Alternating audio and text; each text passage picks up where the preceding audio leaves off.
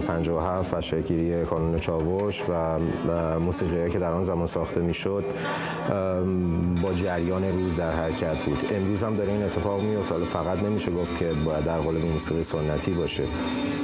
امروز جوان ها با یک زبان دیگری با یک نگاه دیگری دارن نگاه بررسی می‌کنن موضوعات روز رو و موسیقی که داره تولید میشه به هر نوعش جنبه اعتراضیش داره تاثیر خودش رو می‌ذاره.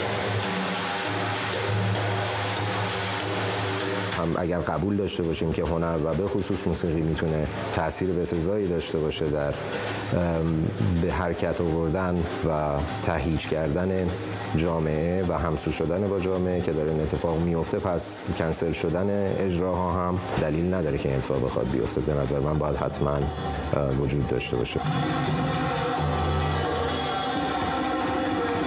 صد درصد موسیقی سنتی موسیقی ایرانی جایگاه خودش رو از دست نداده. توی این در واقع من حداقل نظر شخصی میگه فکر می‌کنم جایگاهش رو از دست نداده و می‌تونه همگام مردم باشه و می‌تونه تو این تغییرات در واقع پاسخگوی احساسات مردم باشه.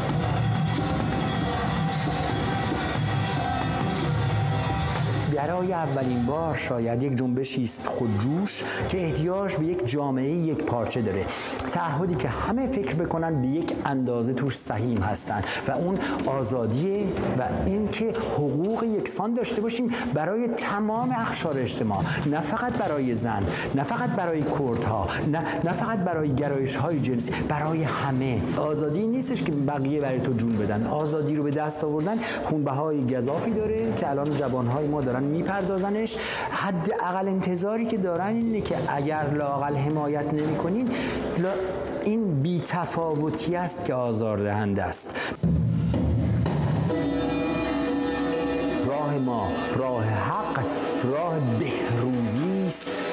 اتحاد اتحاد رمز پیروزی است. منتها یک بار متحد شدیم یک اشتباه بزرگ رخ داد. بعدش گفتند که انقلابمون دزدیده شد. الان قراره که این اتحاد بر سر خرد باشه نه شور حسینی ملت رو بگیره باز دوباره همون اشتباه ها رو مرتکب نشن. شعارها می‌تونن یکسان باشن. برداشت ها خوبه که متفر چشم ها رو بایستی بشوریم. جور دیگری می‌تونیم تمام اون شعارها رو زندگی کنیم. نه اینکه چون مال دوره تلخ انقلاب 57 بریزیمش دور. نه اون شعر یک جاودانگی داره. دیگه مال سایه نیست. مال یک زمان نیست. مال یک اقلیم نیست. اون در مورد اتحاد انسان ها داره صحبت می‌کنه. بنابراین زمان ناپذیره. نامیراست.